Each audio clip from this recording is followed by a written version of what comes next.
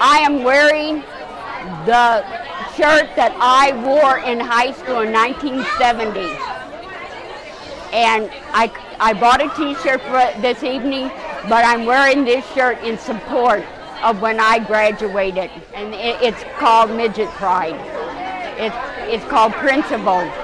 We got to stand for something, and tonight I stand for the midgets.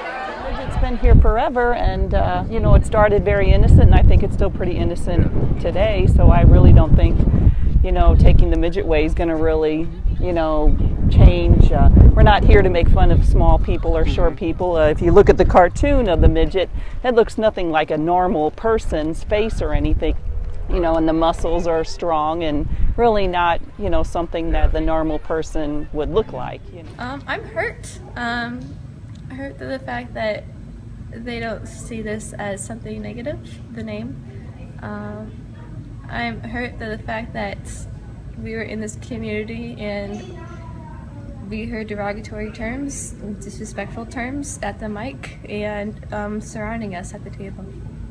This was one of the hardest nights of my life um, to see that many people support a word that deeply offends me.